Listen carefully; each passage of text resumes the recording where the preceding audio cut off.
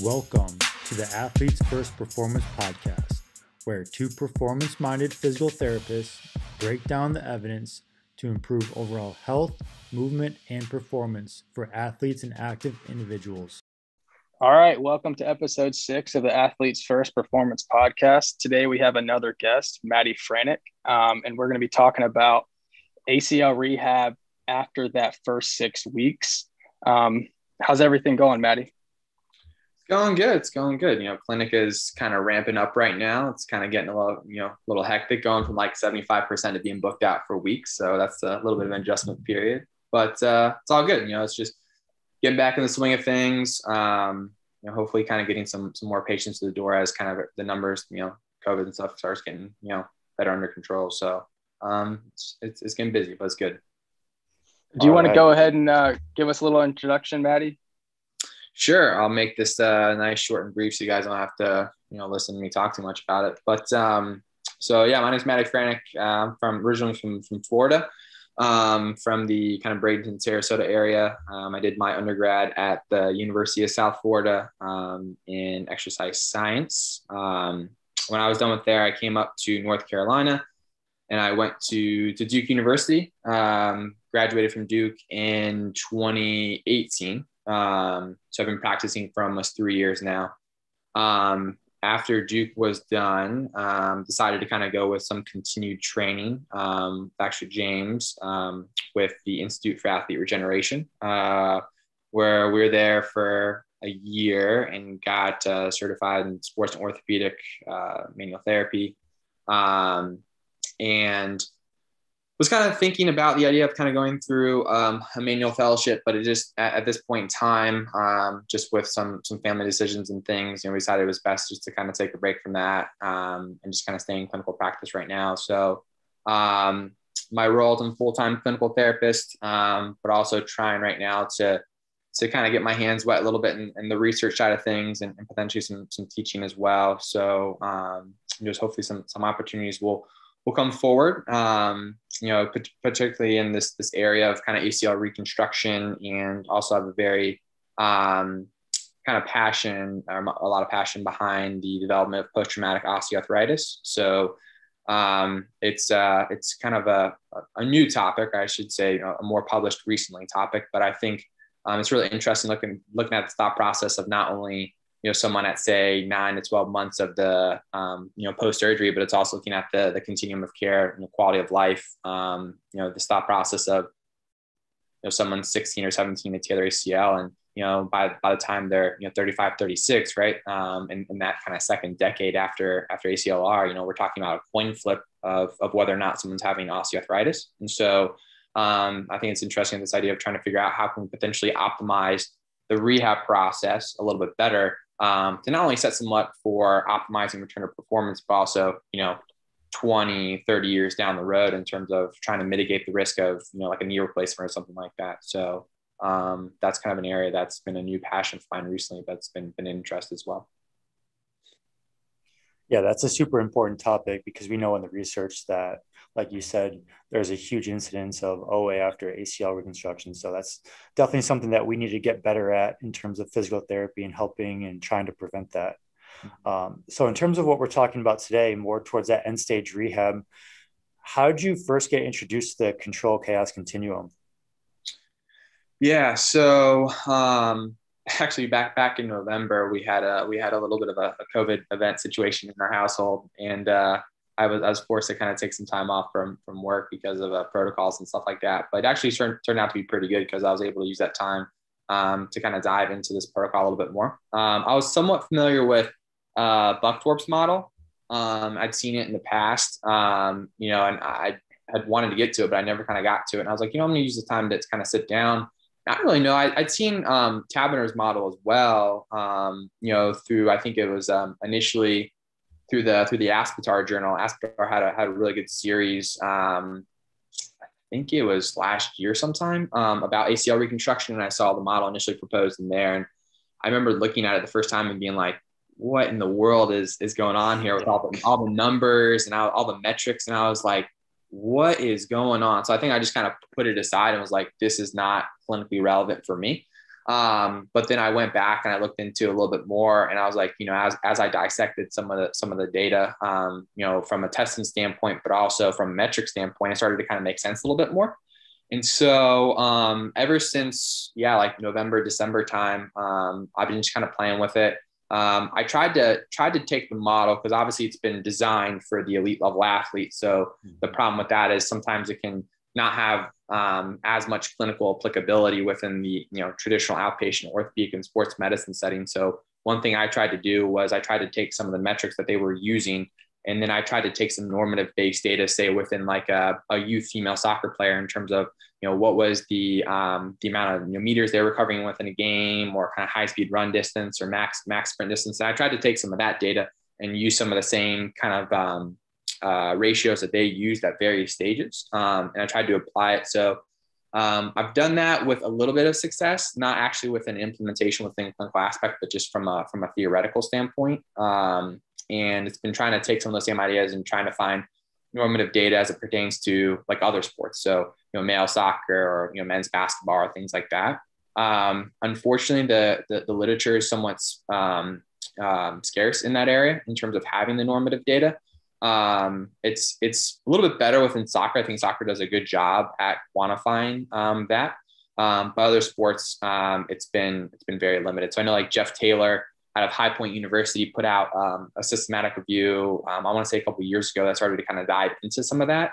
Um, but unfortunately, the data is just just limited in terms of being able to plot any normative normative um, endpoints. So it kind of makes it a little challenging to to say, like, oh, I'm going to take this you know vast concept and try to apply it down to a to a high school athlete or something like that.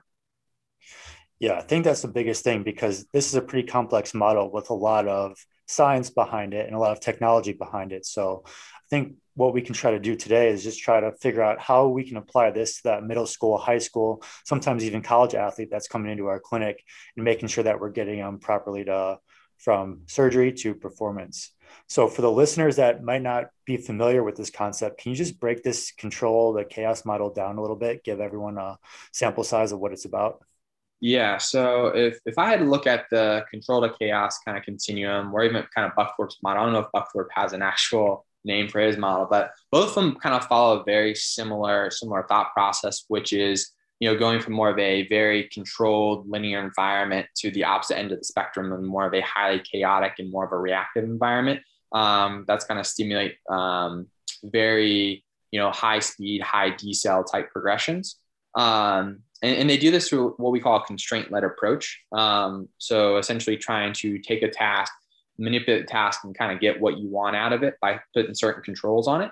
Um, so within the, the initial kind of first stages, we're talking about more of a linear based progression. So keeping everything within the sagittal plane, um, you're keeping things very low key in terms of acel, decel. Um, within kind of that stage two, where we're progressing to some more multi-directional movement. Um, so I think this is where it can, it can get um, very complex very quickly um, because now you're talking about, okay, how do I manipulate speed? How do I manipulate angle? Um, if you guys are familiar with um, Tom Dos'Santos' work um, in, in, that area um, with the whole um, was was it um, velocity velocity angle trade off I think is what they call it. You can you can realize it can get very complex very quickly. so that kind of is what kind of sets the stage for the following phases, which is three, which is more of that kind of middle ground or reactivity phase. for what I would think is more of a perturbation based focus um, and then five is kind of this game simulation or trying to um, kind of recreate the environment as best as possible. Um, so that's kind of like in a nutshell. I mean, if you look at kind of the overall goals, it's like, you know, let's look at how do we, how do we recreate this kind of reactive environment? Um, just kind of take a look at some of my notes real quick. Um, looking at this idea of, you know, tissue specific conditioning, I think is really important in terms of trying to get to those uh, pre-injury chronic training loads. Um, you know, we can look at kind of along the same lines, but a little bit different in terms of you know metabolic conditioning or sport specific conditioning. I think that's a little bit different than kind of tissue conditioning. And then we can talk about this very we talk about this for a while, but it's this idea of ensuring optimal movement strategies within kind of ever changing sport specific environments. And so that could be another area where I think it's very subjective to the therapist in terms of what what do they determine as an optimal movement strategy, um, and then within what task. So for me, for example, in, in a nutshell, um, I think the the linear decel is probably, I should say, linear decel with a horizontal bias um, is probably the most important thing that we can try to get out of an athlete because um, that's where the highest demand on the knee joint is is going to occur. And so for me, it's, it's taking that task and trying to figure out, okay, within a horizontally oriented deceleration task, how can I kind of pick and choose the um, the strategies that I think are going to be you know most most uh, rewarding or return on investment for me from a from a you know mitigating uh, secondary injury risk. Um, so I mean, we can talk about the idea of a dynamic systems theory and, and how complex that can kind of get, and, and basically how I was talking with some colleagues the other day, and I was like, you know, at the end of the day, it, it kind of gets daunting. You know, you you try to do these things within it within a therapist perspective of um, retraining movement, and then at the end of the day, it's it's almost like a self select strategy in terms of all the tat or all the um, constraints that are going to be on a on a movement, and it's like well, you kind of just cross your fingers and you hope for the best thing, honestly, at the end of the day, right? Like you hope they select that movement strategy. Um, but I think it's one thing I've been kind of playing with is this idea of like maybe regardless of the of the task environmental constraints that that they're that they're placed in, um, can there be maybe a foundational strategy, say say for like a lower you know center of mass or something that we can try to try to kind of recreate within these differing constraints, as opposed to trying to coach or cue like seven or eight different things, and you're like, I don't know if I'm going to get all those things. So it's like as opposed to looking at a lower center of mass, controlling valgus, you know, looking at lateral trunk flexion, foot placement. It's like the reality situation is I don't think all those things are going to happen unless you have perfect opportunistic opportunity.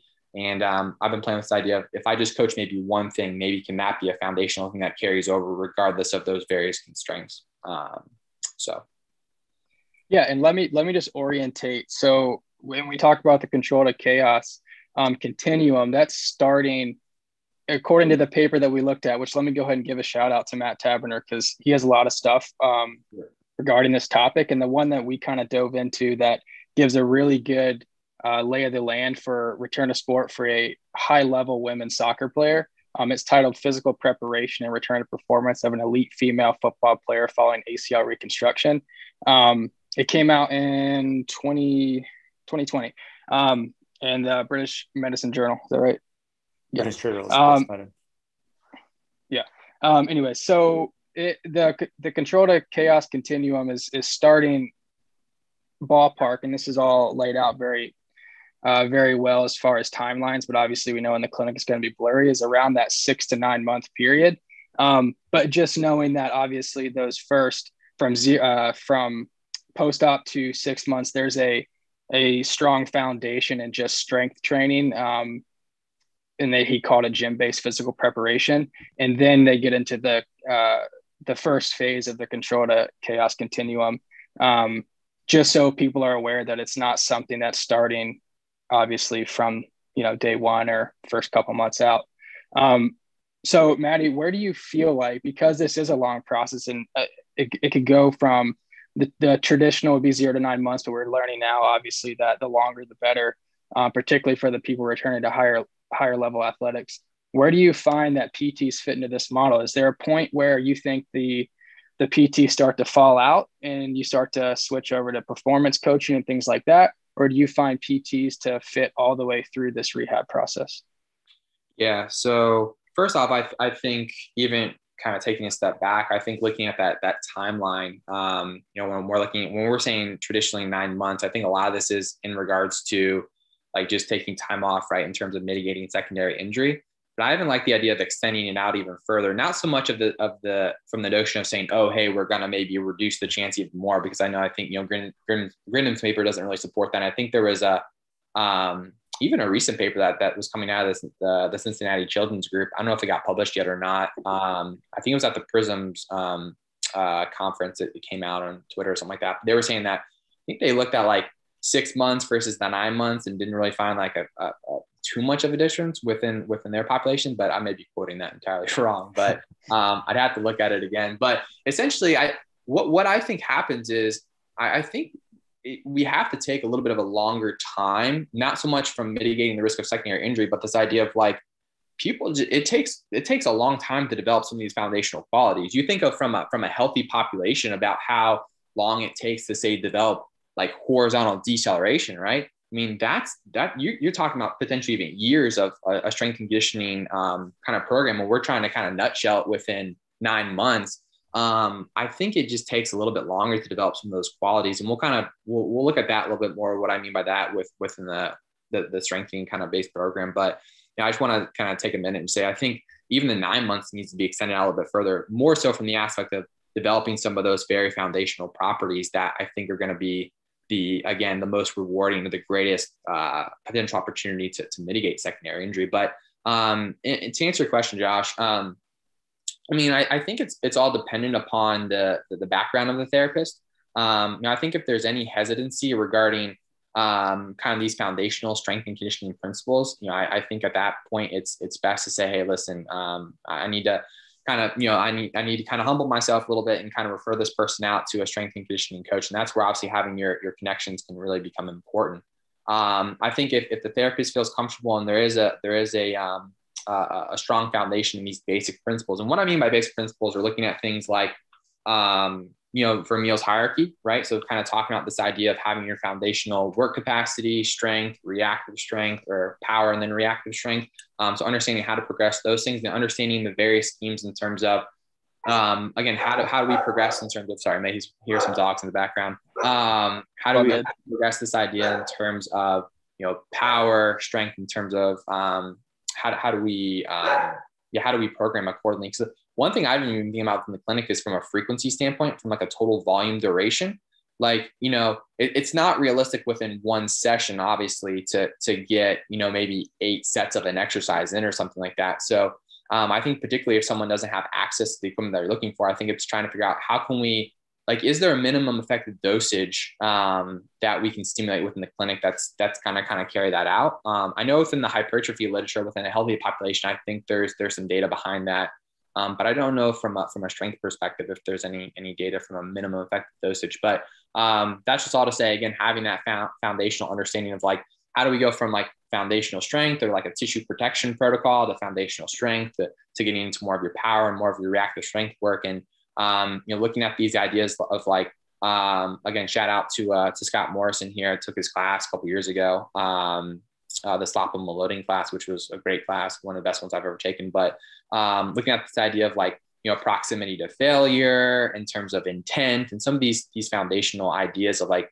you know, how do you how do you go about manipulating those those variables in terms of getting what you want out of the out of the person? So um, i think having an understanding of like again Vermeil's hierarchy understanding how to manipulate those three variables to get what you want um, and i think another very interesting thing is how do you manipulate the intensity within the context of pain right because i think it's this idea of like we talk about the state of um, strength and conditioning being the same within rehab, and that's true, albeit we are dealing with someone that is in pain or has an injury or something. So it's almost like pain becomes your your, your number one factor, right? Um, in terms of how you're determining intensity. And then if they're not really having too much pain, how to determine, okay, how can I use, go back to some of those basic principles and try to manipulate those things to get what I want. So um, I'd be curious to hear your guys' thought, but like, I guess within everything outside of tendinopathy, um, I'll usually use like a two to three out of 10 kind of pain threshold. Um, specifically, if we're talking within the context of like ACLR, it's like, well, I don't really want you to get like a two or above a, we'll say above a three within the, like the patellofemoral joint. Um, that just kind of tells me you're probably overload. It's, it's overloading too much. Um, but I'd be curious to hear your guys' thought in terms of how to use like a pain pain threshold. Um, obviously within the session, but also we want you know the 24 hour response later being there as well. Um, do you guys use anything particular um, within the session to, to kind of moderate load or intensity? Yeah, I uh, I kind of on the same deal with um, sort of that zero to three range. You know, the, the little traffic light, green, yellow, red, zero to three rays, uh, zero to three versus four to five versus beyond. Um, with post op, it's it's it's a little bit different because we are obviously know um, that pain is certainly individual and affected by a, a multitude of factors. Um, so loading being one of those. So i, I do sometimes tend I, I you have to keep the pain in mind because um, when there's pain you know particularly in the knee things are not going to go well as far as returning the quad and things like that. But i also have a pay a pay a lot of attention to swelling. Um, so if uh, you know if you're doing something and and it's going to be probably more of a delayed reaction where their knee blows up then you probably need to back off. Um, and then i guess the third thing i would say is for me um, you know, if they're doing an exercise within session it's highly painful, I'm not going to do that. And I'll try to I'll try to find a way to modify it. And there's a ton of factors that you can change and still try to um, get the same adaptation you're going for. But I mm-hmm. pay a lot of attention too to that 24 hour post. Um, uh, so I tell p- patients, even 48, like I'm going to ask you next time you come in, how did it feel? Uh, you know, the next day. So either write it down or remember. Um, so yeah, my main timeline is during, post, and then 24 hours post. Um, James, you got anything different? Yeah, I mean, I agree with that. And then also like what it actually feels like. So nothing sharp. You don't want to push right. anything sharp or pinchy. If it's a little bit dull, two to three out of 10, that goes away right when you're done. I'm okay with that. And then just like Josh said, monitoring that 24, 48 hour pain response, making sure there's no increase in swelling. And then another thing that I do especially early on, is every time they come in measuring extension. So if that knee is getting a little bit irritated, they might start losing that terminal knee extension. So that's yeah. just another option to take yeah, a look are, at. Those are all good points. I think one of the things that I that, that we see within the rehab literature, just just rehab in general, it's like you know, we can't have any pain, right? And it's like, well, the reality situation, I think we can have a little bit, right? As long as we kind of keep these vague uh, parameters in mind, right? Um, I think we'll be in an okay place. And sometimes I know we even use it again, not to take tendinopathy and put it within this this um, this population, but sometimes that just kind of tells us we're getting the load that that we need, right? Um, to kind of get that adaptation because it's like, well, yeah, I mean, if you if you don't stimulate enough load, then of course you're not going to have any pain, right? If you're if you're uh, if you're uh, two months out and you're still doing straight leg raises, you shouldn't be having pain. But again, it's because the, the load is not sufficient enough, right? So um, I was just curious, kind of hear you guys stop. But that just kind of all goes back to say of like within the context of PT, you gotta have to appreciate how do you manipulate those variables but keep pain within the the the you know backseat in terms of how are you how are you judging progression and so on and so forth so um, I think those were the main things. Also, just looking at you know periodization models, right? And in terms of the the general general scheme of things, I don't think there's really one periodization model that kind of fits best. I think a lot of people probably follow a linear periodization model, but um, I kind of interested in this idea of almost like an undulating um, approach um, uh, more of like a, uh, I guess we, we call it like a daily undulating approach. Um, when we get to the different points, when we can kind of initiate power within the context of strength, I think it just, um, with, if anything, it just provides like a psychosocial enjoyment. Like, oh man, I'm not doing the same thing for a month. Like, oh, it's like every workout's maybe a little bit different, you know? So I think there's some enjoyment to that. Um, but do you guys have any ideas as well or preferences with, with periodization schemes that you guys have used?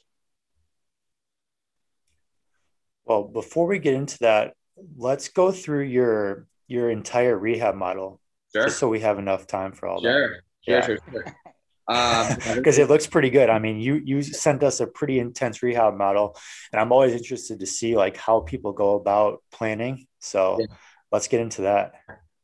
Yeah, so this is going to get complex. So uh, strap your seatbelts on. Um, yeah. This might get a little a little interesting. We probably have some some tangents here, but um, the first thing. So so this has been a thought process that has literally been something that has my my entire clinical practice has shifted within the last I'd say five or six weeks.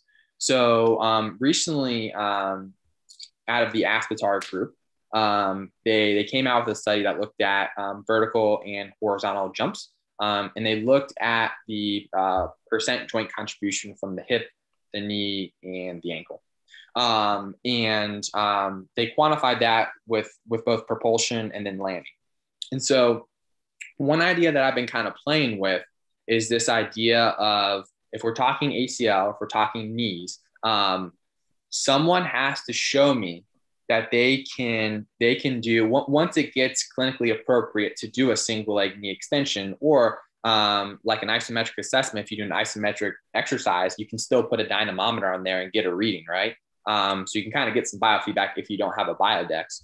Um, but this idea of you've got to show me that you can do this amount of weight and it's all relative to your body weight which is the really cool part right? We'll talk we'll talk about this later on as we progress in terms of the concept of lsi and why i think lsi is a good foundational piece but i don't think lsi is where we need to go with things because um, everything we do is relative to body weight right? Um, whether it's an everyday task or a recreational task like it's a squat very early on or it's end stage rehab with the linear decel but it's this idea of you've got to show me that you can do this percentage on a on a single leg knee extension, right? And keeping those same parameters in mind that we talked about in terms of not experiencing the um, the more than three out of ten pain or the uh, swelling, etc.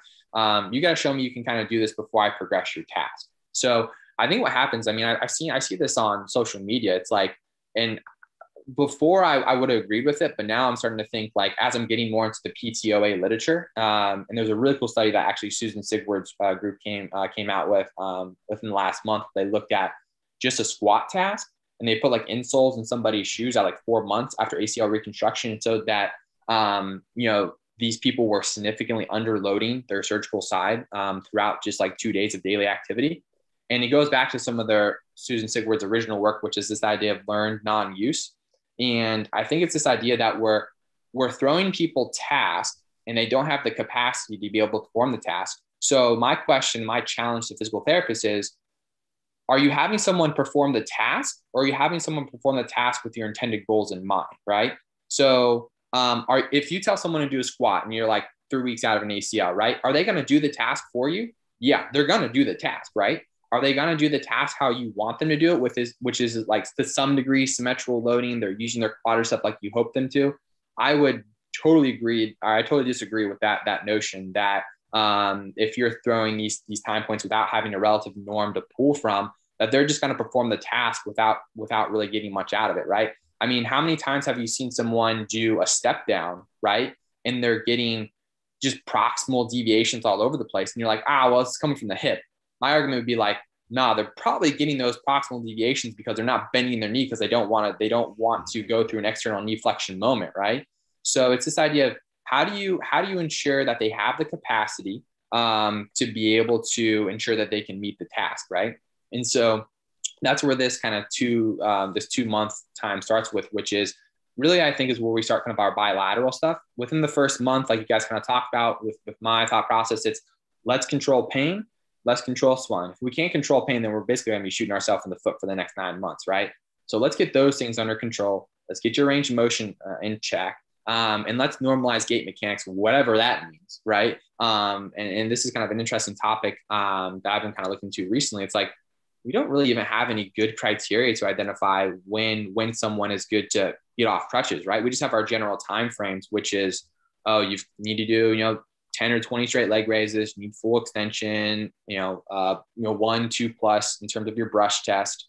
Um, but my thought process is like, why, why are we looking at some of these studies then? And people are one, two years out of an ACL reconstruction, their gait mechanics are still off. Right. And I think it may, it may go back to this idea of, um, where, the, the, the capacity is not meeting the task, right? Someone's going to do the task for you, but again, it's, it's not going to look how you want. And I think, you know, obviously the, the challenge with that is, well, we're not within a lab, right? We don't have a 3D motion capture system or, or a, uh, a, a, force plate system that spans the, the context of our ground. So how do we determine what that looks like? But I think that's an area for research to hopefully explore to get a better idea.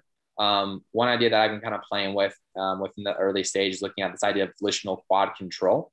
Um, so Ryan Zarzycki, um, I think I, I think I pronounced his name right, hopefully um, came out a study last year in JOSPT. And they looked at this idea of they measured um, volitional quad control, um, or basically they looked at spinal reflexive excitability, or sorry, that's spinal excitability. And then they looked at more peripherally in terms of uh, ref- spinal reflexive or reflexive spinal, one, one of those.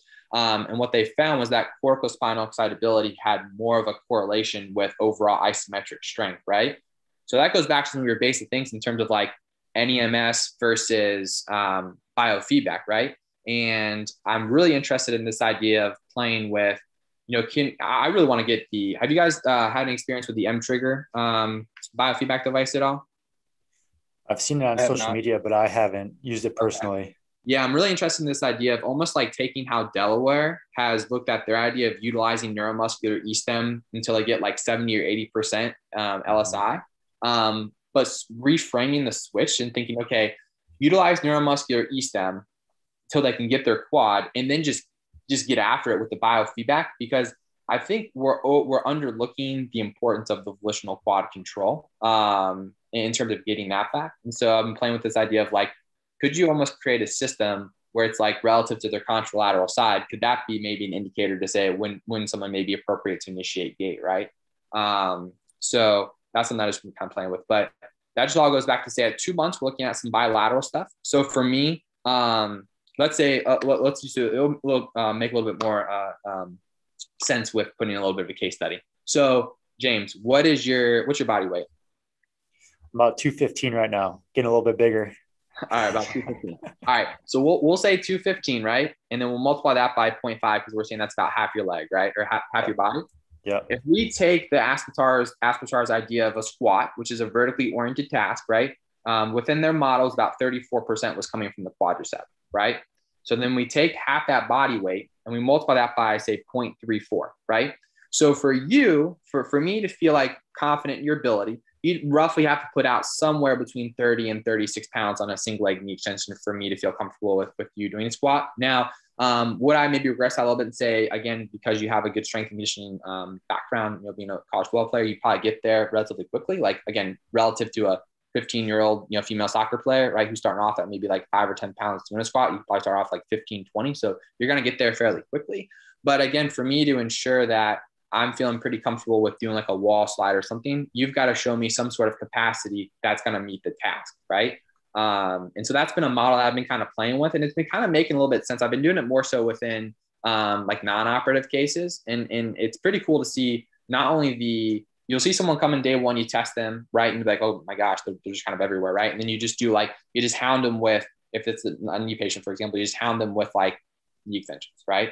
And then lo and behold, you don't do any hip strengthening whatsoever, right? And they go back and all the proximal deviations kind of go away. So it's the idea of like going for your low hanging fruit and, and, trying to see like what's going to give you the greatest return on your investment.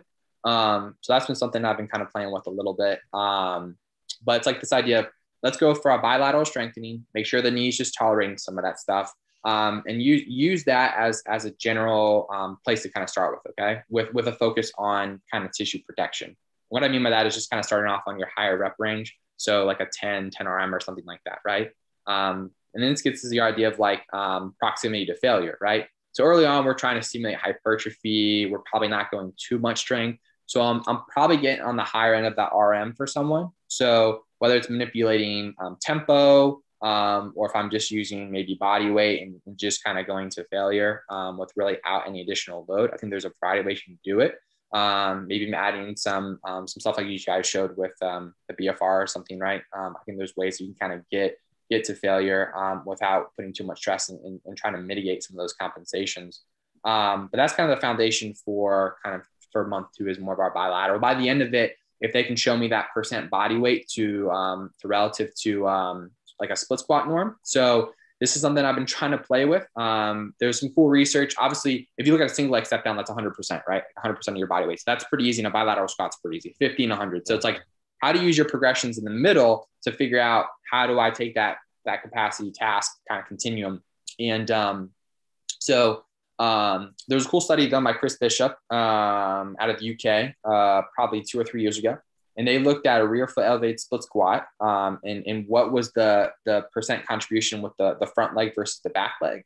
And they showed the front leg was about 80, 85% relative to the back leg. So I'll just take that same number, multiply that by 0.34, and that's how I'll kind of get an idea of like, okay, this is where we're going for when when you're appropriate to do this task without me thinking you're you're going to be compensating primarily through something that we can't see, right? Like your ankle complex or your hip complex, because we know from Susan Sigward's work we can't see it, but they're going to do it, right? So it's how do we how do we get some relative certainty to say, okay, you know, you might be mitigating this compensation a little bit, and then I'll kind of take a step back from that and look at a split squat.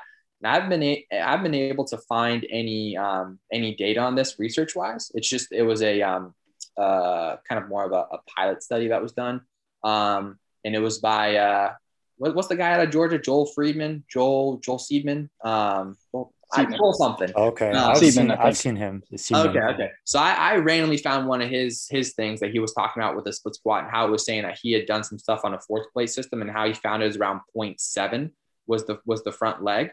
So I'll take that same thing, 0.7, multiply that by 0.34, and that gives me an indication of when we may introduce split squats. So, okay. I mean, I just get this idea. Like I see stuff on social media, you know, someone's five weeks out and they're doing a rear foot elevated split squat out of an ACL reconstruction. I'm like, that's cool. You're doing the task, right? You're probably doing it, but are you getting, as a therapist, are you getting what you want out of the task, right? If you're trying to do that from, oh, I'm trying to build quad strength, which I, I that's probably a secondary goal for me. The functional stuff more or less gets to a coordination perspective, which will end later down the road, which we'll talk about with linear decel.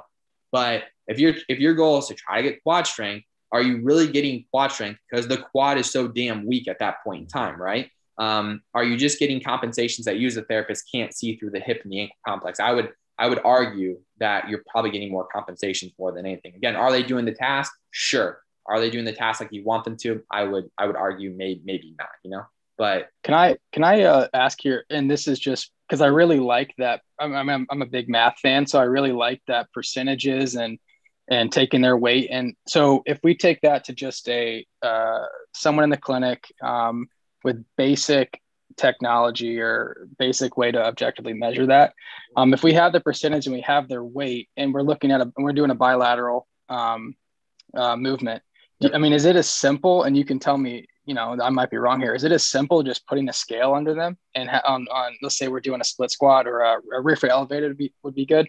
Is it as simple as putting a scale under their back foot or maybe front foot and just seeing percentage wise are they putting you know the 85% weight on their front leg um, yeah i mean is that a good way to do that that's something i haven't played with uh, personally uh, i don't see why why it couldn't be um, especially if you're limited. I mean, I think everyone at this point in time should have a handheld dynamometer for goodness sakes, or a, a crane scale or something, right? Within, within their mm-hmm. so, or if you got a knee extension machine, that's a great way to do it as well, right? Just have them lift the load, stay within your your protected range early on, right? You're going to be strongest at 60 degrees, 70 degrees um, of knee extension, so just have them kind of put out weight there and see what they can do, and that's going to be you know, obviously when it's appropriate graft wise, but um, do that there, see what they can do, and then kind of kind of determine your your your functional progression, whatever you want to do. But um, I think I think that the only challenge with that kind of goes back to this idea of like if they put say they put the 85% there, right? Are they putting the 85%? Are they are they putting that 34% through their quad? Are they putting say 20% through their quad and the rest of it's going to the hip? And so even if they're doing the 80% or 85% on the front leg, what are we getting from the quad still if that's our like our overriding goal, if that makes sense, you know? So that's why I like the idea of like just constrain the task to a single like knee extension. The only way they can do that is through their quad. Um, and that that can kind of give me an idea of like, all right, if this is what they can do, well, this is what they can do. Um, and I'm sure. So, you, so you would go. So sorry, you would oh, you would make sure that they can via a, a handheld dynamometer or or knee extension machine. You're making sure that they have the capacity through their quad to do the task. Right. And then once that and then once they are doing whatever task you're asking them to do um and i don't is, is that the point where as long as they're i guess how do you quantify whether they're putting the right percentage of weight and it's obviously super oh, gray yeah. but between yeah, each leg if they have the capacity to do so yeah i think i think the only way that that happens from that standpoint is if you have a portable force plate system which i'd love mm-hmm. to have in my clinic i'd love to have a ForceDecks or a, a Hawkin Dynamics system um, i think that's a great thing so i've been playing with this idea of well like okay once because it's this idea of strategy and capacity, right? Like they're two yeah. kind of things. We'll talk about that at end stage testing as well. Um, but it's just this idea of um, you've got to have the, the capacity to be able to do it. But mm-hmm. I think it's also important if you've never done the task, say you, you haven't done it for a month, right? Your motor learning is going to be like, what in the world am I doing? Like I got to reteach a squat all over again. So I think that's where the biofeedback can be very helpful with a, with a force plate system. Teach them that, grade that task away. And hopefully the intention is they've learned it from you, right? In, in, a, in a graded, uh, graded um, or a faded approach, excuse me. Um, and then hopefully that carries over into like their everyday activities. They come back to see you. Then you just you just keep hammering the quad until they've got the next percentage to do the next task. You do the task again if, if you have that system, and you just keep kind of teaching them, right? I think it's just that if you can teach them, um, I think the everyday activities can be very helpful for stimulating load through something. But the problem is someone learns a motor task because they don't have the capacity to do it, right? They're getting up and down a chair, they're going up and down stairs, they're doing it, right? They're telling you, like, yeah, I'm like, I'm feeling good. But the problem is they're probably not loading their quad at all. They're probably not loading their knee whatsoever. Um, and then that motor pattern just gets learned. I think we see that within Susan Sigward's work that they're just like significantly underloading it. And so we're basically like, we're teaching them something they they don't have the capacity to do. And then we're like shooting ourselves in the foot because now they're doing the task repetitively and it's harder to get rid of something and reteach it as opposed to teaching it initially. I believe that that's kind of like my thought process behind the motor learning um, stuff.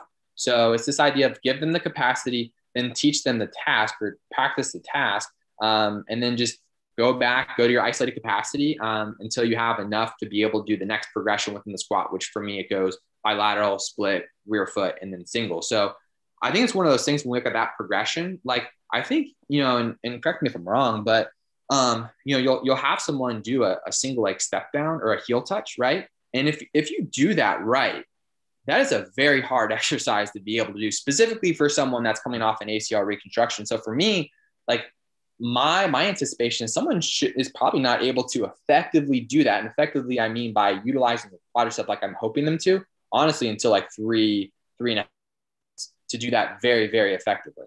Um, whereas you may see some stuff earlier, like oh, you may you may see people doing heel taps at like six weeks, and I'm just like, oh my gosh, like some they're doing the task. Okay, yes, are are they doing it like like you're telling them to? Yes, but are they doing it at all like you want them to? I would again, I would just disagree that they're just they're they're shifting proximally, right? Their center of mass is going forward, so their moment arms decreasing. They're getting some proximal deviation, maybe a little bit of valgus. Maybe they're just they're going contralateral pelvic drop to, to reduce knee flexion on that side, right? So they're just shifting that leg down, opposite leg. Um, again, I think a, a, step down, a single leg step down, if it's done correctly, um, is actually a very, very hard task to be able to do. Um, if you're controlling that eccentric knee flexion or that uh, external knee flexion moment and then propelling yourself back up, um, I think it's a very hard thing. And I think that kind of goes through our progressions as well. Like if you do them right, like we want them to, right? Um, they're they're they're much harder than I think what we anticipate they really are for someone coming off an ACL reconstruction.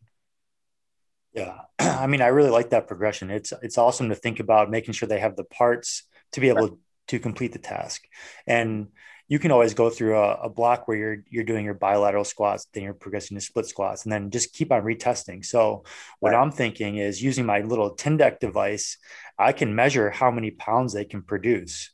And that's a right. biofeedback device in itself. So they can actually see how many pounds they're producing, pounds of right. force they're producing on my phone. So hmm. and making sure, know, okay, so I was gonna say we know like 60 to 90 degrees, the graft's gonna not have any tension, right? Yeah. So, so just isometric.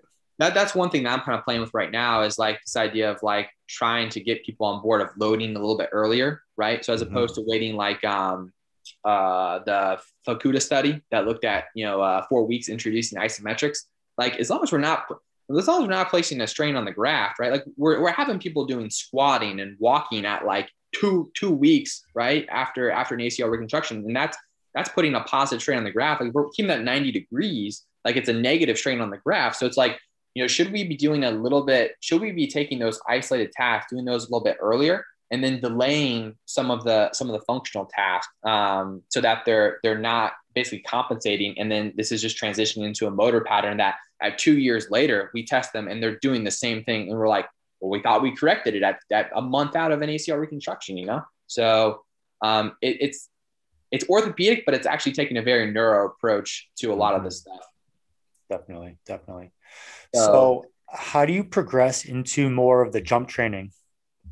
Yeah. What are you looking for?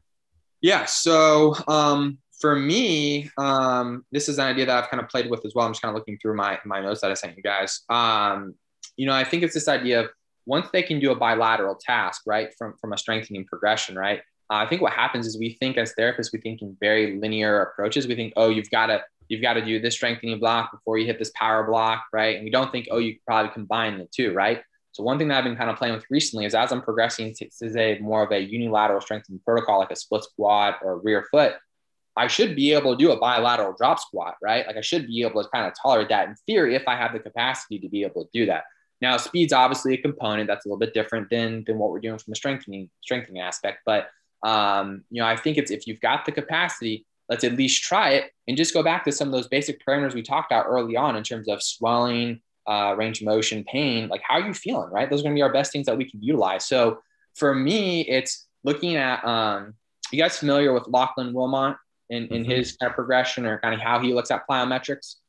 So I really like this. I, I got introduced to this probably. This was I think my daughter had her had her ears or tubes in uh, 2020. So this was like right before the pandemic.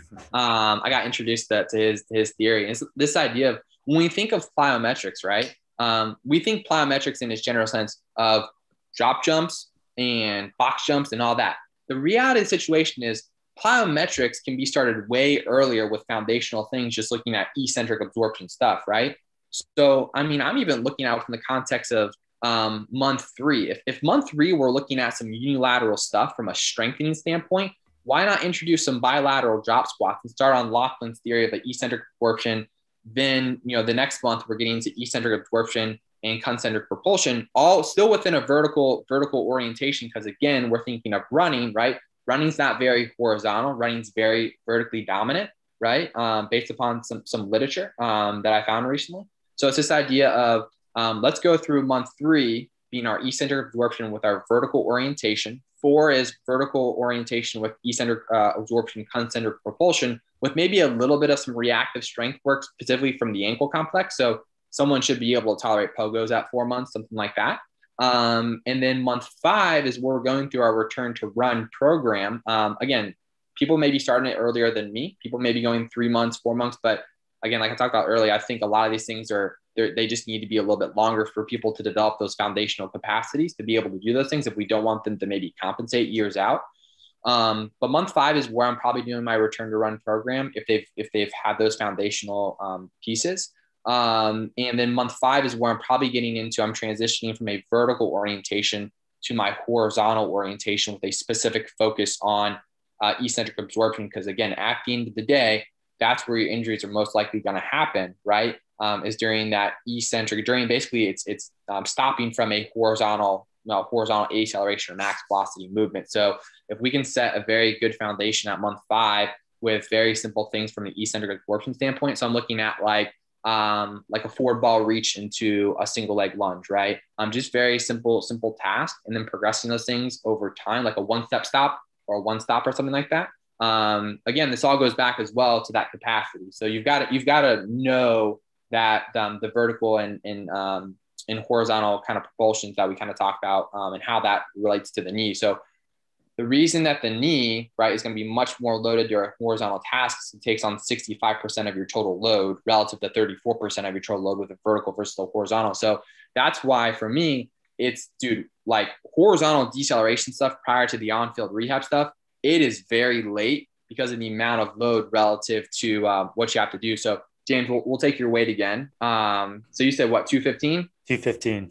All right. So now we'll say, uh, we'll say a single leg task, right? So we'll, we'll take half that. So now you're doing basically 215 pounds, right? And we'll do 215 and we'll times that by 0.65. It's 140 pounds on a single leg knee extension that you need to be able to do. Now, not, not to say you have to be able to do that, but um, at least you're showing us maybe some relative numbers on an isometric assessment or something, right? To give me some relative confidence that, again, when we get you ready for an on field rehab component, you in particular, um, your knee is going to be able to hold up without you again going through if we if we give you a horizontal decel task well are you gonna are you gonna hinge strong at the at the at the hips right are you gonna go into a little bit of valgus like are you gonna relatively stay in a stiff knee so again everything for my continuum is based upon a, a certain percentage relative to your body weight.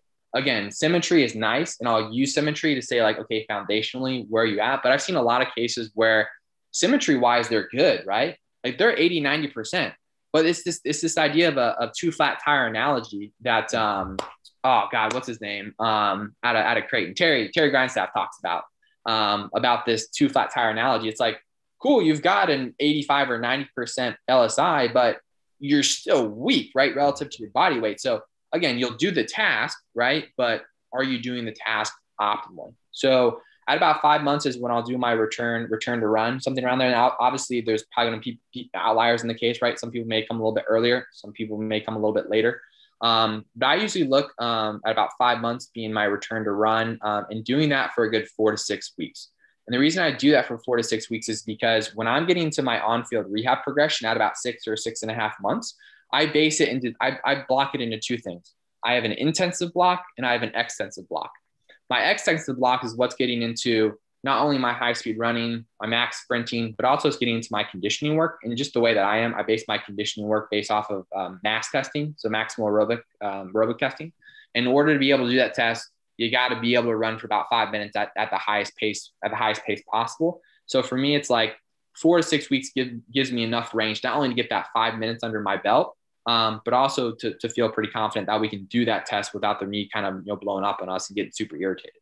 Um, so that, that's extensive and intensive. We'll talk about this in a sec. That's where I get into more um, specifically if, if we're limited in time and stuff, horizontal decel, but also reactivity um, that we can kind of talk about a little bit later. So let's take a quick step back. What do you look for in terms of beginning that return to run progression? Yeah. Um, so obviously, it's you got to be able to put out a certain percentage of your body weight mm-hmm. quad wise, right? Um, again, LSI, if we're measuring it through a handheld dynamometer, the literature would say, based upon um, Anthony Sinicor's work from from University of Pittsburgh, um, 85% I think is is what the LSI metric was for for return to run. So again, that's your foundational piece, right? Do you have that? Um, and then from there, we're looking at relative to your body weight. If we're looking at a run, right, being very similar to a single leg step down, well, you got to put out 34, 34% of your body weight um, on a isometric test. Or, I mean, I think with an isometric test, you have to look at it a little bit different because it's probably you're able to produce a little bit more force than an isotonic. So you're probably able to put out what, like between 10 and 20% more on a, on an isometric test if I had to put, put that somewhere. So again, you roughly got to be able to put out 34% of your body weight um, on, on specifically a quad test. I mean, I think from a hamstring test, you could probably look at more LSI because um, unfortunately, when we're looking at the the data from the Aspetar group, when you think of hip extension, well, hip extension is coming through glute and hamstring, so there's not really you can't really like judge that out per se. I think LSI is probably a good place to go there. If you wanted to look at some soleus stuff, maybe some soleus or hip abductor stuff, you could probably look there. But I think when you're looking at your your low hanging fruit, um, you definitely got to make sure that it's the quad LSI, but more importantly, I think relative to your body weight. Obviously, you want your foundational pieces, right? Your quiet knee and all that stuff.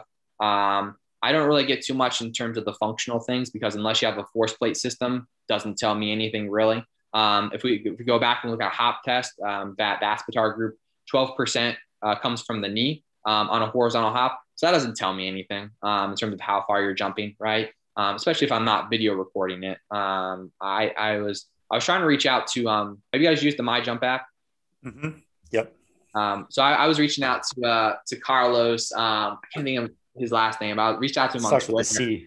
So, yeah, something like that. And I reached yeah. out to him on Twitter, and I was like, "Have you ever thought of the idea of like trying to quantify? Like, if you look at a hop test, right? You can do the hop test on that app um, and get mm-hmm. kind of. I think you can get a symmetry from side to side, but also just looking yeah. at like from a landing aspect you know, could you get some sort of symmetry on, on that test to get a better indicator from a functional performance test to be like, okay, I feel confident within here. Um, or even, I guess you, I don't know if you could look at it. Does, uh, do you, do you get a absorption, um, symmetry from, from like a, uh, like a, a counter movement jump or something on that? Can you get that? Or is it just propulsion? From everything that I've seen, it's like jump height, power, and force, as well uh, as velocity. Okay. So they have that, they have the counter movement jump, single leg drop jump, drop jump, things like that. Gotcha. So it's probably, I mean, I guess potentially you could, you could look at ground contact time, but I think it's, it's, it's a little messy with a lot of stuff. So I think if, if you've got a force plate system, that's where I'm going with some of the functional performance testing. But you've at least got to have those isolated capacities for me in order to, to feel confident, um, as well as just saying like, okay, you've gone through you've gone through four months of rehab and your knee's been tolerating all these things well. That's just an overall kind of picture that I'm looking at to determine a return to run progression. Yeah. And I really like having, again, the parts versus the whole, making sure that you have the capacity to actually do it. Um, so, some things that I've been doing this is from Mick Hughes. So, making sure that they can do um, like a 30 second side plank, mm-hmm. tw- at least 20 single leg heel elevated bridges, 10 single leg squats to 90 degrees flexion, and then making sure they can do a heel tap off an eight inch box 10 times with good the uh, uh, lower the, extremity control. The 90 degree knee flexion. What are, what are your thoughts on that? Because running is going to be like what 60, 55 degrees in knee mm-hmm. flexion. Mm-hmm. Yeah, you're definitely uh, not getting into that. And I, I, would even argue, like again, going back to the heel tap, like mm-hmm. 90 degree single leg squat, right? Doing it, doing it well. That's a hard thing to be able to do if, if you're asking the, to get the quad. I mean, you look at a healthy mm-hmm. population. I mean, I was I was seeing something the other day of uh, um, a basketball player on social media doing a, a step down task, right? And I mean, center of mat, I mean, the eyes were over the, the box. I was like, what, are you trying to get out of this, this exercise? Like if you're trying to get the quad to be strong, well, your center of mass is so far forward that the moment arm is ridiculous. So mm-hmm. that just goes back to like understanding um, your, some of your basic kind of biomechanical principles. Oh, one thing I forgot to mention, this, this kind of coming back into play. Um, and I was, I was getting, um, my mom would, would appreciate this cause she's a high school math teacher, but um, basic trigonometry can be something that can be super helpful in the early stage. So, like, take for example, um, we talked about that idea of maybe delaying the, the functional task, right? The um, like the bilateral squat early on. Um, one thing I've been playing with is going back to some of your sine equations um, and doing that on a leg press, right? So if you think of a leg press as like 45 degrees, right? Mm-hmm. Um, and I think I calculated the other day, if we think of a, a regular leg press is about 75 pounds, just the, the plate by itself, um, a little simple sine math equation that's about 53 pounds um, based upon some of those equations. So I've been playing with the, this idea of maybe we delay specific functional tasks like body weight stuff, but we still can introduce something like a leg press. Um, we're getting some patellofemoral conditioning earlier on because I do agree with some of that stuff. Um, but maybe just trying to um, figure out how do we do a better job at loading within a closed chain task, if we want to call it that, but in a different way relative to body weight. So that was something I forgot earlier to mention.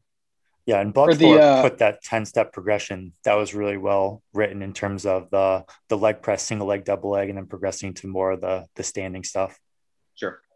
Just to add to that return to running, um, it, obviously there's a there's a ton of a ton of information as far as benchmarks. Um, mm-hmm. I'm just gonna throw in Chris Johnson stuff. Um, that's a lot of the stuff is the same from what you talked about. Um, Chris Johnson was there in PT.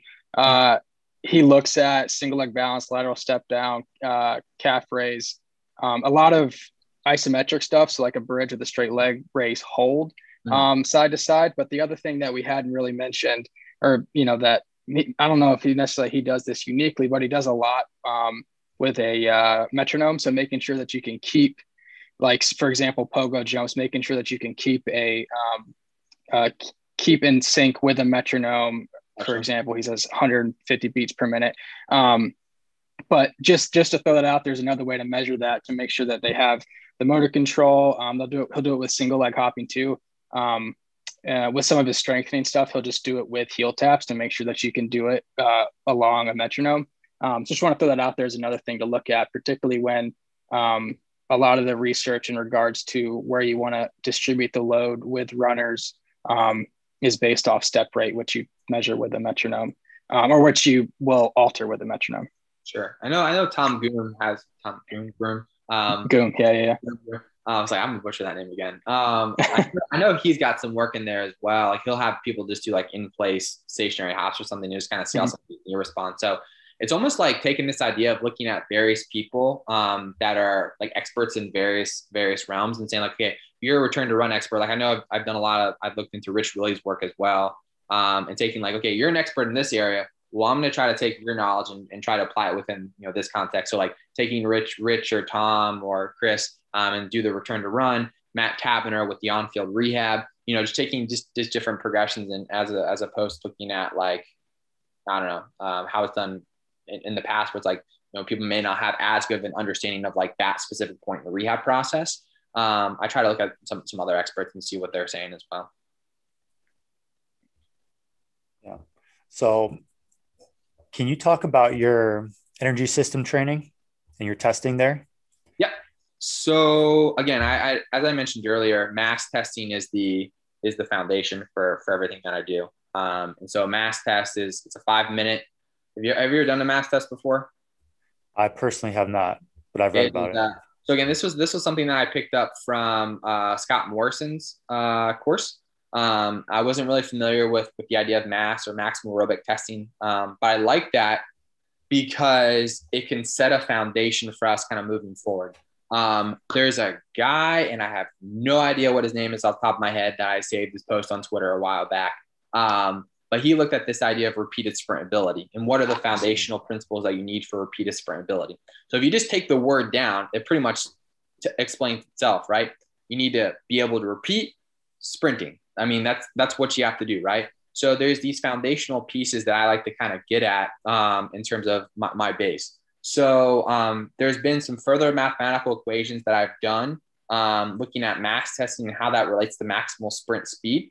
Um, so the good part, um, and, and Damian Harper, um, if you guys don't follow him on Twitter, he's a great guy for, for a lot of deceleration stuff.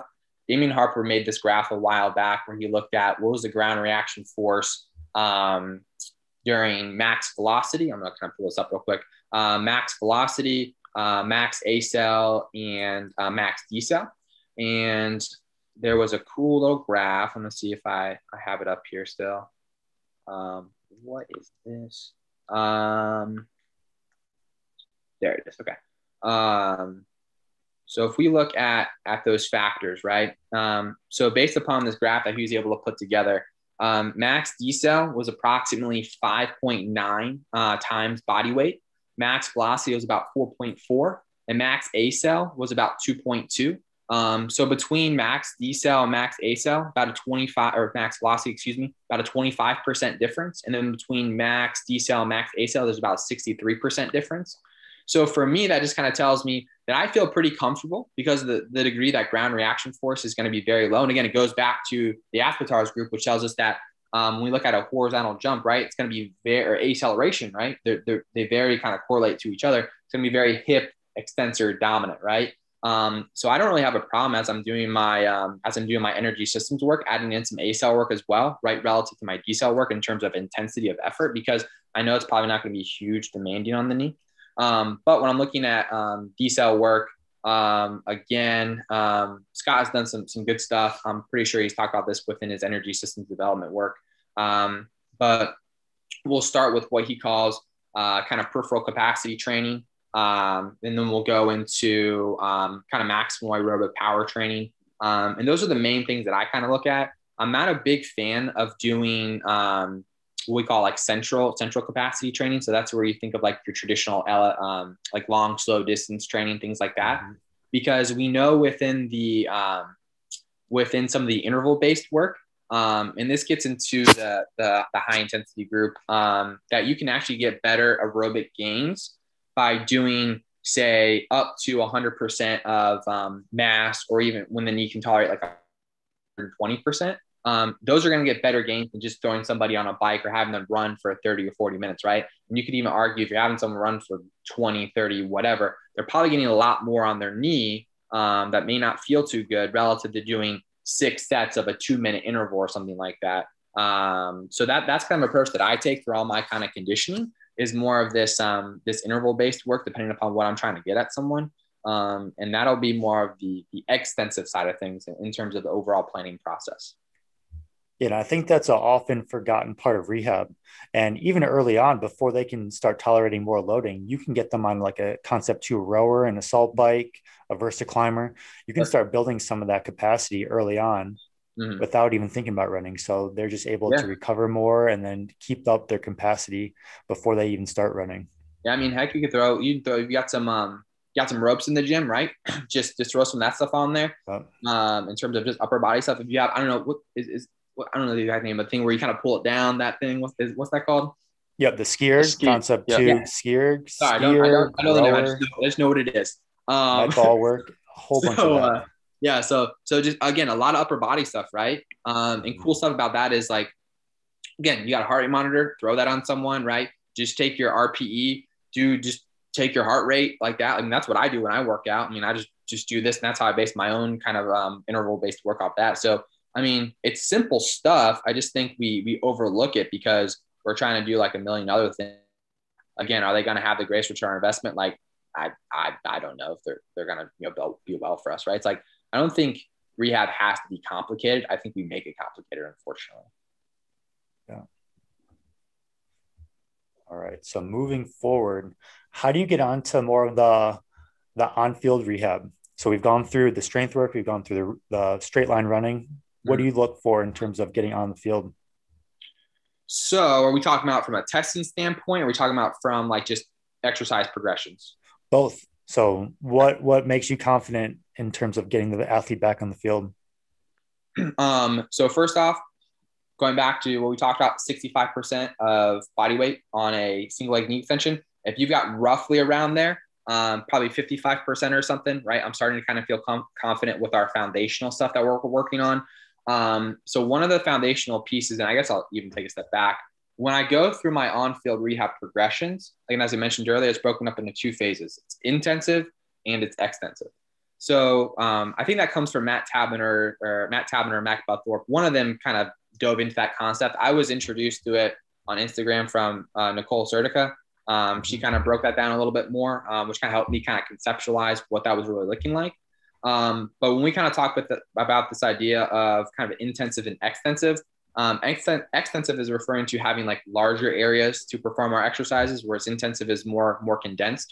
um, and very high metabolically demanding. Not to say that extensive isn't, because it is, but it's just larger areas to perform some of that stuff. So from a programming standpoint, it's extensive is going to be our conditioning. It's going to be our um, our high speed running once we get there, right, percentage wise, and then our max speed sprinting as we're progressing towards like stage, you know, stage three, four, etc. Um, our intensive work is purely focusing, well, not purely, but it has a heavy emphasis on. I should even say accel work to some degree may fit within that, depending upon um, clinical time that you have available to you. But um, our, uh, our intensive stuff is going to be our accel, our decel, but a lot of our decel, it's primarily where our focus is going. And then once we get to the phase within stage three, it's going to be some of our react, uh, reactivity work. Um, so that's where you can start throwing in some of the neurocognitive or kind of uh, spatial temporal awareness stuff. Um, I think from an overall perspective, and, and part of this bias has been um, been driven through Erik Meira. Um, one, one of the one of the biases that I have is that I think we overlook heavily um, the the importance of having the, the ability to perform a linear deceleration task. I think we're seeing a lot of stuff in research now, which is which is important about the whole idea of like um, the neurocognitive awareness and spatial temporal capacity and some of those things, um, which I agree. But you'll even hear Dustin Grooms, who is like the lead author and all the stuff. He'll say, the meat and potatoes of what we do is strength and conditioning, having having those foundational things, and then this is kind of extra, right? And so um, I think we we overlook the linear decel task, right? And we also think that vertically oriented tasks are going to carry over to linear deceleration tasks, which they're not. Vertical vertical tasks are going to train you for a vertical task, right? They're they're not going to carry they're not going to carry over. They may to some degree, but they're not going to carry over like you're intending them to to a linear deceleration task. And I think we can break that down to the 34% versus the 65%. They're a total load, they're complete different capacities that the knee is going to have to require. So for me, like within an in-clinic session, I'm trying to kind of figure out this idea of again, what's the lowest hanging fruit for me and what's going to give me the greatest return on investment. So for me, it's the intensive focus within clinic. Extensive will be, hey, I'm communicating to the coach if I have a relationship with them, or I'm communicating to the parent and the kid this is what I want you to be working on, right? From an exit. So it's like getting them back on the field a little bit, right? Getting them back on the court. So they kind of feel like they're still kind of being involved with, with the team. It's like, hey, these are our parameters. These are what we're going to follow from an extensive standpoint. Intensive, this is what I really want to try to focus on because again, if I'm trying to focus on these optimal movement strategies, um, I've got to have my eyes on the person, right? Because um, if we just let them and go out, they're just going to do whatever they want based on a dynamic systems approach, um, most likely. Um, and so from a clinical perspective, it's very horizontal deceleration task. Um, and it's starting very, very light. Like we're talking 40, 40 or 50%, right? In terms of effort. Now, how I judge that in terms of how am I judging effort wise um, is based off of a model um, by Philip Graham Smith. Um, Philip Graham Smith is a researcher out of ASPETAR. Um, he's part of the ForceDecks group. Um, he came out with his really cool study, um, I think two or three years ago, and looked at um, the percentage of like say you took a 20 meter sprint um, he looked at what percentage of that time was spent accelerating versus what time was spent decelerating. Um, and all that's how i'll kind of judge my progressions within the on-field kind of rehab component from a linear horizontal deceleration task. Um, so i'll use kind of that model. Um, and, and the idea behind that is um, trying to again you're trying to kind of meet the person where they're at and you're trying to ensure those optimal movement strategies whatever that whatever that is for you I think it's also trying to give the athlete an understanding of what they're able to do. So I've heard this within the, the context of Rich Clark, who is a, um, a strength and conditioning coach in the UK. And he's talked about this idea of, um, I think oftentimes what happens are our, our athletes when they go back to return to sport, they put themselves in situations that they don't understand what they're actually able to do, right? So they don't know, they're not able to judge if, if I'm going like, let's say 80%, right? what does that mean like in terms of when do I have to slow down my task relative to the capacity that I have available to me? And I think we overjudge that. And then we throw that, we throw that very foundational piece with the linear decel on top of the neurocognitive principles where they're having to attend to all the different stimuli within their environment. That's where we kind of run into our problem. So my bias is we don't do a good enough job on the linear decel stuff. We don't really train someone to appreciate what am I able to do at this point in time, right? Or heck, we don't even train it at all um, and then we asked them to go back. We just we just say like, oh, we're just gonna do some some drop jump stuff, or we're gonna we're gonna have them kind of do some some linear decel stuff, and not really be very objective in terms of how we're how we're um, how we're judging that because I think we've got to do a better job at judging that. Very similar to how we judge our exercise early on. If you're going to be very strict in terms of your sets, reps, your range of motion, everything, you got to do the same thing within your linear decel if you want to get the progressive overload you're looking for. You can't just like throw someone out there and tell them to go 100% and they're going to be able to handle it. They don't even know what that looks like. Like I've seen a lot of stuff early on when I was practicing. It was like, oh, I'm just going to do like five yards or 10 yards and have them do like a one or two step or three step stop. Um, but I think we, we can do a better job based upon the Philip Graham Smith model. Um, and so that's what I'll do uh, from an intensive standpoint. And then also when the time allows for it, um, even when we start, to, I, I take a step back, when we start to do the, the multi-directional work, um, again, for me, it's, it's still important to work some of those angles, but the reality of the situation is I've even looked at this from, from a performance standpoint, your ability to change direction is all based on your ability to stop. If you can't stop, then you're, you're putting yourself in a horrible position to be able to get back into the sagittal plane to, to be very hip extensor dominant, right? So I would even argue that deceleration can have can have a performance aspect in terms of change of direction. So as opposed to like again getting caught so much on like, oh, I've got to work this angle velocity trade-off is like just get them really, really good at the linear decel stuff and then gradually expose them to some of the change of direction stuff. And so that's why for me, the change of direction is like it's intensity wise, it's behind where the linear decel stuff is because I'm introducing it a little bit earlier. Um, but I don't get so caught up. It's like within a session, if I don't have time to get a change of direction, I'm like, okay, well, I'm, I'm at least getting your linear decel stuff, and because that's that's going to have the greatest, at least in my opinion, my bias, that's going to have the greatest return on investment for not only maybe mitigating secondary injury, but also performance enhancement. So um, I'll progress those things. Um, again, through a constraint led approach, Matt Taberner had a great paper that came out a couple months ago where they kind of looked at that within more of a, um, more of a actual um, uh, uh, clinical applicability setting. Like, how does that look in terms of a constraint led approach? And so I'll kind of use that same system in terms of how I progress, um, more of the reactivity um, kind of component to it.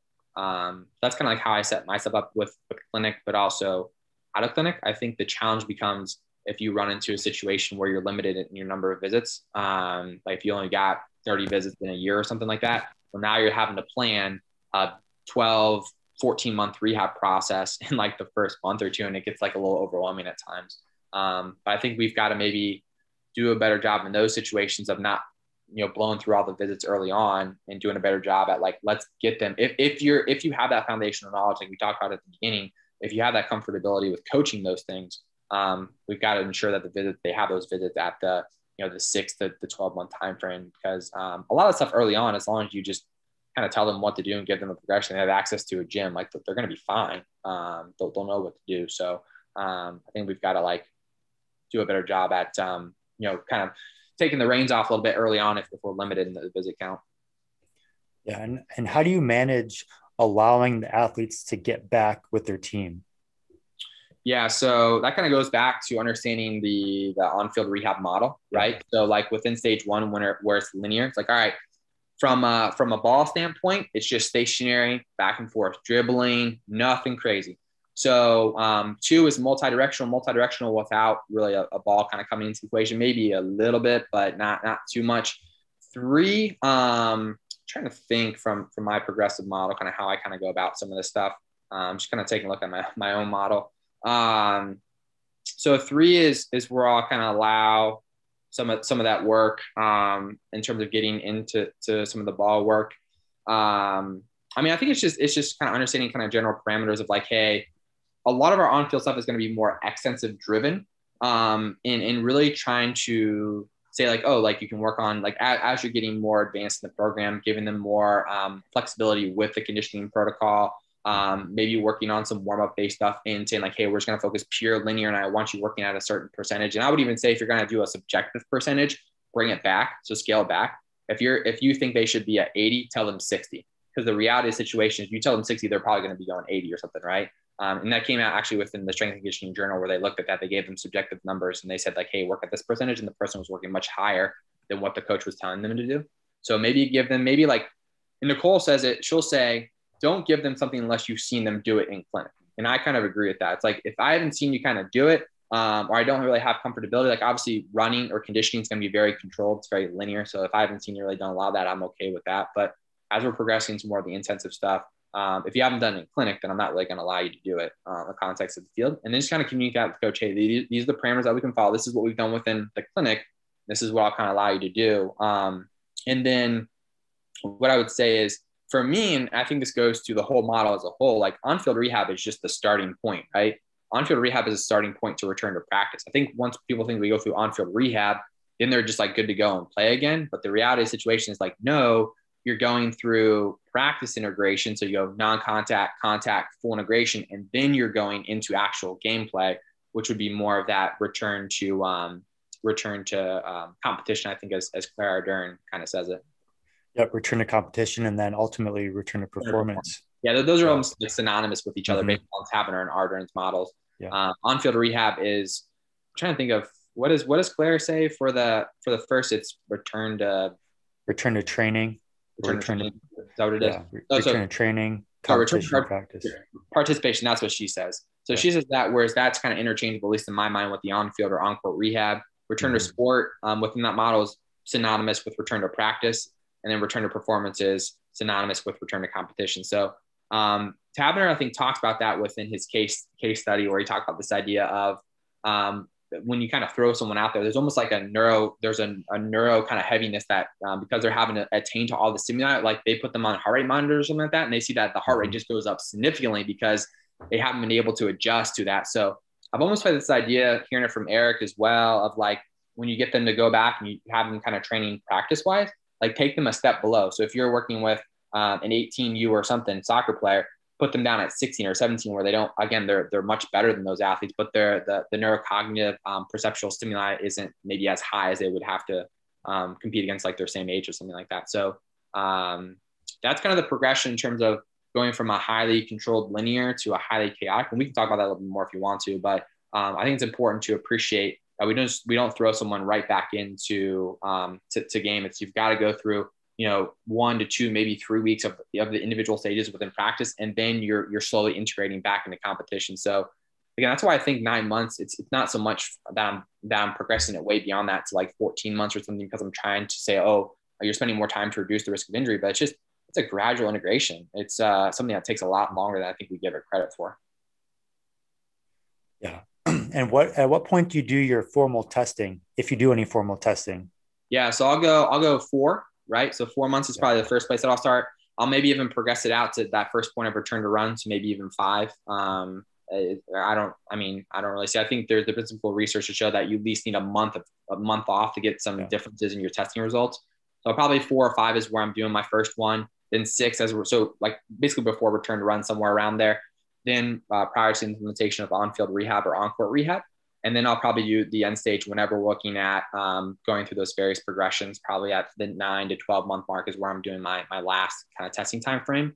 Um, in terms of what I'm looking at, uh, as we mentioned earlier, capacity versus strategy. Um, so obviously get your get your foundational things, um, get your quad LSI and get your quad um, relative to body weight and see where that's at.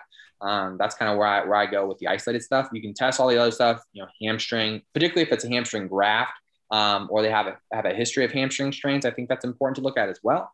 Um, but look at some of your other metrics if you want to. Um, but I think hopefully a, a, shift moving forward will be more of accessibility within the portable force plate system. So um, the the metrics that I would what I would want to look at if I had a system um, that I was kind of just putting together would be um, let's see. So I, I look at the context of both a single. I would look at a single and a double leg. So this comes back to some of Daniel Cohen's work um, out of, uh, I think he had wrote something in the Aspetar journal as well, but they looked at this idea of, you know, oftentimes we think of a single as the best metric, but double can be beneficial as well because now you're getting the optimal braking velocity um, because someone feels comfortable with going on two legs. And you may get more of an expression of asymmetry at that point in time. Um, so I'll look at it. I, if I had access to system, I'd do a double and a single. Um, look at both um, both the eccentric, um, also concentric, but also peak landing. Um, so I'd look at um, trying to have my metrics that I had here earlier. Um, I don't have them off the top of my head, but I basically look at eccentric RFD. Um, I'd look at eccentric impulse. Um, I look at concentric impulse, and like I'd look at peak landing if I had access to a Hawkins Dynamics or a force deck system. Um, that's probably what I would look at within that because I think it's important to not only test capacity but also see strategy wise, what are they doing for you? Um, if we're talking about the motor learning movement perspective as well.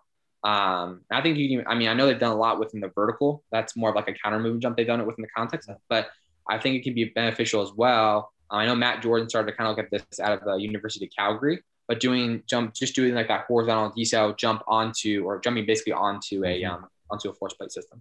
Yeah. What about any change of direction testing, like a T test or a 510 agility testing? Do you take a look at any of that?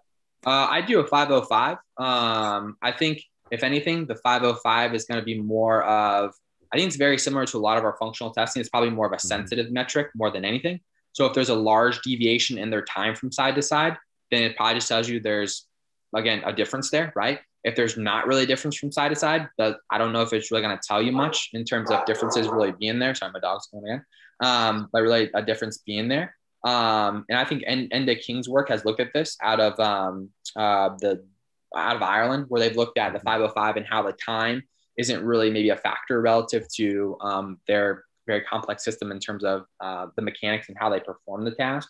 So if I were to look at that, uh, if there was a if there was a, a difference, okay, well, there's probably something going on that we need to address, right? If there is, if there's not a difference, it's not that I'm saying, oh, I'm not going to continue to work on this. I'm probably going to work on this. It just uh, tells me that there's not maybe a large asymmetry that may be different from side to side. Um, so I think if you don't have access to something, it's, it's a good place to start.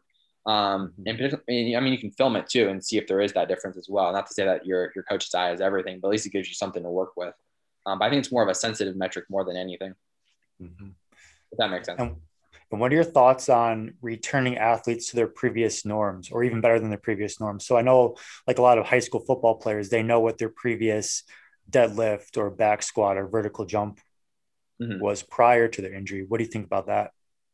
Yeah, so that stuff this is where I think um, PT needs to go in general. I think oftentimes we have this notion of return to prior level of activity.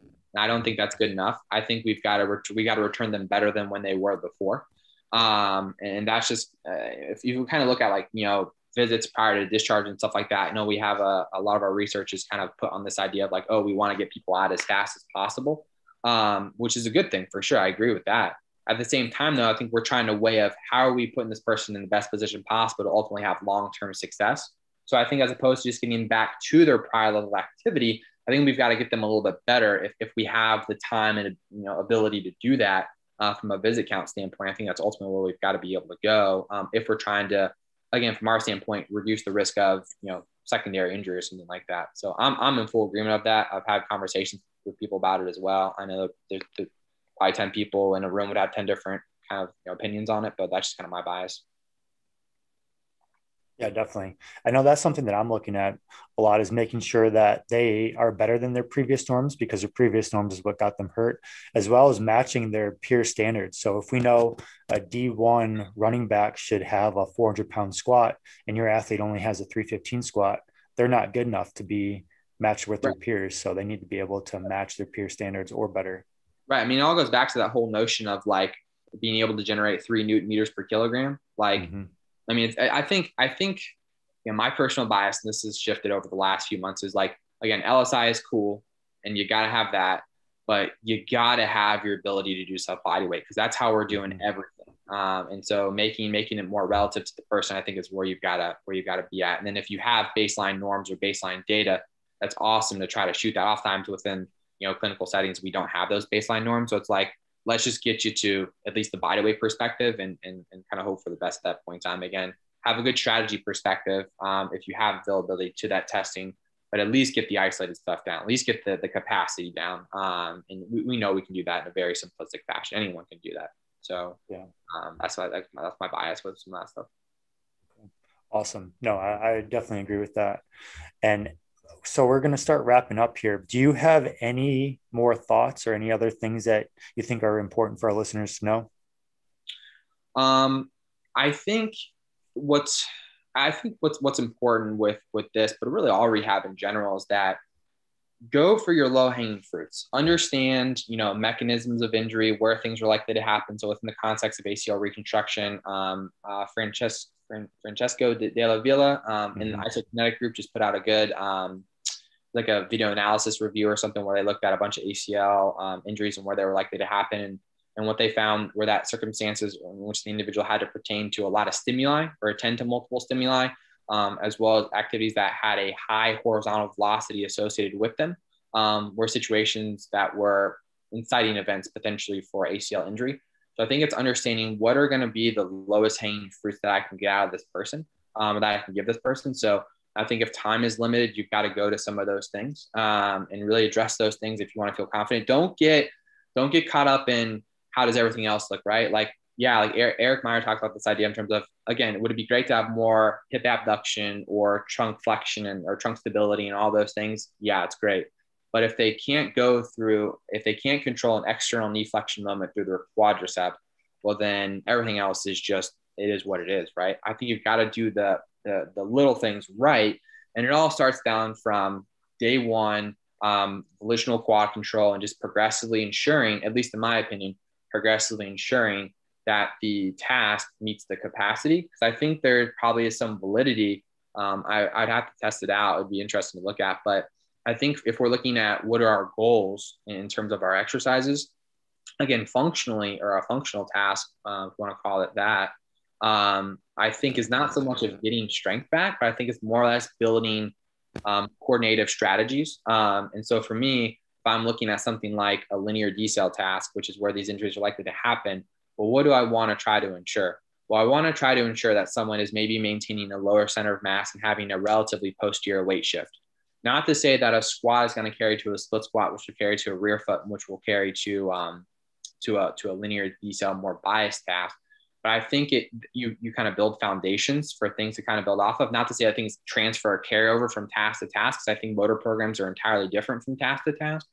Um, but I think that you're, you're building a foundation. If you can do those foundations early on very well by again ensuring that task meets capacity, then hopefully we can put these people in good situations, not only within their activities of daily living, but also as we're getting back to that return to sport performance, hopefully, hopefully developing those coordinated strategies over time um, where those motor tasks kind of carry over. And again, at the end of the day, if through that dynamic systems approach, I mean, you're just hoping that things kind of work, right? All those constraints kind of um, work together and, and the person can kind of pull from the task that you've been practicing on.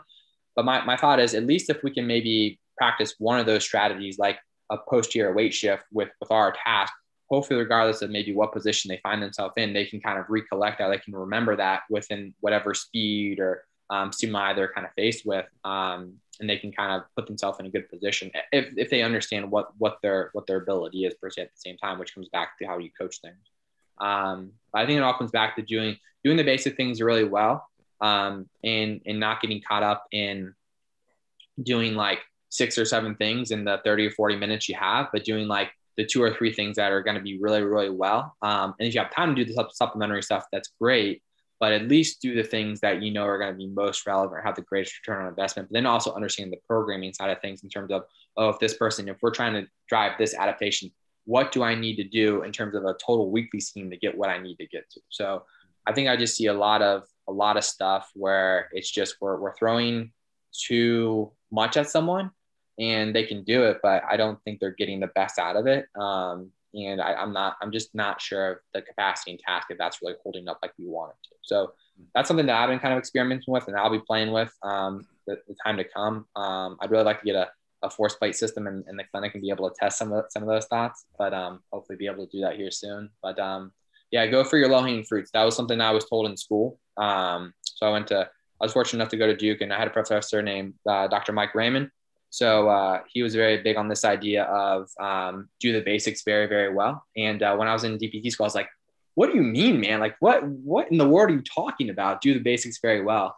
Um, and as I'm as I'm going more and more into practice, I'm starting to kind of appreciate that more. Like it's, funny when I started practicing, you know, my session would look like four to six things. Now my sessions now look like two to three things, right? Because um, a I know that's going to give me the greatest return on investment, but also the, person's probably going to, we know this from a research perspective, but people are probably going to be a little bit more compliant if we give that to them from a home exercise standpoint to do the, the little things that are going to have the greatest return on investment as opposed to giving them five or six things. They're just going to be like, I don't know what to do. Right. Um, so that's what I would, what I would say. That would be my advice. Yeah, that's awesome. A lot of good takeaways there. So, last question we've been asking all of our guests. You're our second one. So, we're going to keep this question up. How do you stay up to date on the literature? Obviously, you read a lot of research and you post a lot of stuff. So, how do you keep up with all of it? Yeah. So first, I'm gonna give my uh, give my own uh, page page a shout out. So evidence based movement. If you're not following them, check them out. Um, yeah. Page page I've been running for since I was in DPT school. So uh, fortunate enough to have four guys on the team, and that's definitely a way that I stay up to date with it.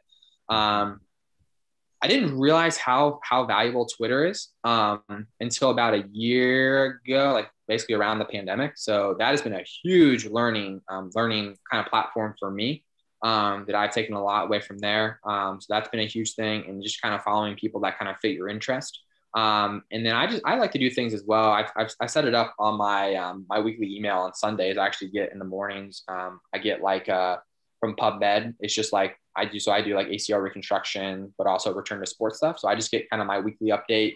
Um, I kind of sift through the things and kind of say, like, oh, this is interesting. Me kind of read this real quick and kind of put it there. So um, again, you're not going to be able to read everything, but um, I think it's just trying to um, stay on top of literature from that perspective, but also um, just kind of follow people that um, they can kind of give clinical experience as well. I feel like that's where I've, I've gained a lot of a lot of experiences, not so much from a research perspective, but people kind of giving their input that have kind of been in the trenches and done that stuff. So whether it's from strength and conditioning or it's been from the, the rehab side of things, that's been super helpful as well to kind of get their input and kind of test it in clinic as well. So those are kind of things that I've found to be super beneficial.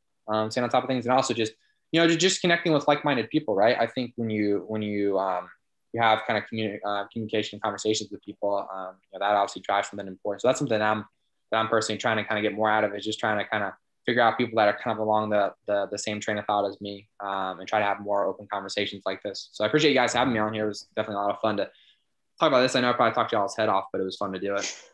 No, I definitely learned a lot, and I, am going to take a lot away from this and have a lot more reading to do in terms of uh, catching up with you. So, uh, looking forward to that. Sure. And if any of our listeners have questions for you, or if they want to get in contact with you, what are the best ways that they can do that? Yeah, so um, I think Twitter and uh, obviously Instagram are probably the best places to reach out to me. Um, always kind of on there. So um, Twitter is just Madison Franek, so it's my name. And then Instagram is, I think it's Dr. Madison Franek um, on there or something like that. Um, also, if anyone ever wants to send me an email, it's just Madison Franek at Gmail. And I'll kind of send that guy. So if you have a, a description or something, you kind of put in there. So um, just mm-hmm. Madison Franek at Gmail is kind of my, my personal email. So um, I'm always willing to answer questions and talk to people if they have any anything they want to talk about. We'll link all that on the show notes and the website. So we appreciate you having or having you on. Yeah. And uh, looking forward to our next chat. Yeah, sounds good. Thanks, guys. I appreciate yeah. it. All right.